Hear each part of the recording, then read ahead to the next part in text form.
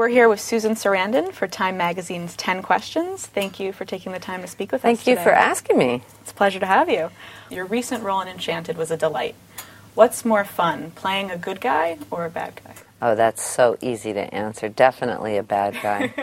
I mean, just think about it. You know, you, you all the mean things that you would love to say that you relish, you, that you'd never say because you're trying to be a generous person. You know, suddenly you're you have license to be and do, and they're just more interesting, usually.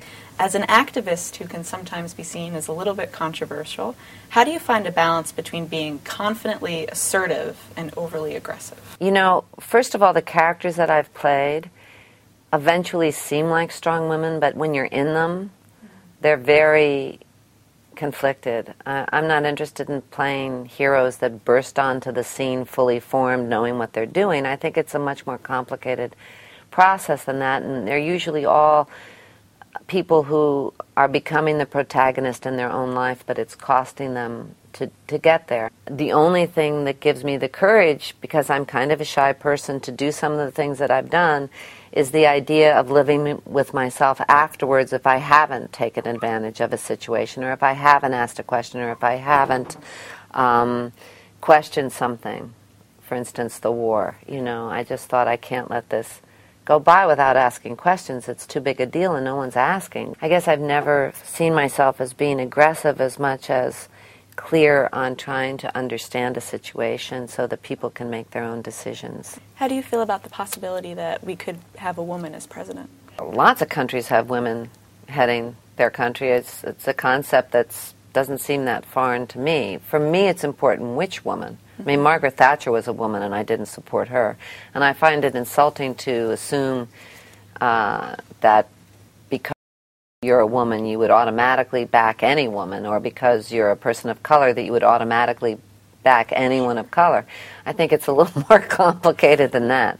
But, uh, you know, there's absolutely no reason why a woman shouldn't be in that office. I don't see it as being such a big deal. I'm not sure about this particular woman, but uh, she wouldn't be my first choice. But there's no reason why, you know, a woman or a person of color or person of whatever faith. I mean, I think Americans are bigger than that and better than that. That they, that would be the only thing that would determine something for them. What do you think of the current U.S. foreign policy and how George Bush is trying to throw his weight around in the Middle East? Well, clearly it's been a disaster. Uh, it's made us much less safe. It's made the world much less safe. It's cost us our moral standing in the world. I've spent a lot of time with veterans of this war, and I, I think there's a huge disconnect between the real war and the politicized war. And I think I, I, I wish that our representatives had more experience of the real war when they're making their decisions. And my overall feeling about the whole Iraq situation is just heart. You know, I'm just heartbroken for the for the people that are over there one, two, three times now, um, and we continue our lives. If it doesn't touch, if we're not part of that one percent that it immediately touches, it's so easy to forget about that. And and I and I hope that we start to be more supportive of the returning vets because that's a huge, huge challenge that no one's really dealing with. When you look back on your career, are you happy with the way it has evolved? Do you enjoy the roles that you play now as much as you did the ones that you played in the beginning yeah, of your career? Yeah, I'm still having a really good time. I'm kind of turning into Gene Hackman. I'm doing a lot of these supporting, kind of juicy supporting parts now, but I don't mind. It gives me more time off. It's also nice not to carry the entire film sometime. I, mm-hmm. My ego isn't bruised by not playing the lead in a, in a film. I'm a little bit lazy. I, I suffer a little bit from inertia.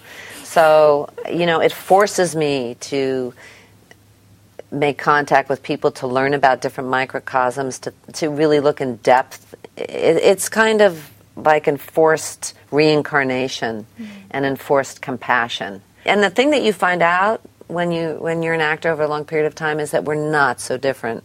Everyone's afraid of the same thing. Everyone needs the same thing. And given a set of circumstances, you can find yourself doing things that you never thought, or feeling things that you never thought yourself capable of feeling or doing. So it makes you kind of much less judgmental and more compassionate, you know, and that's not a bad exercise to go through every time you go to work.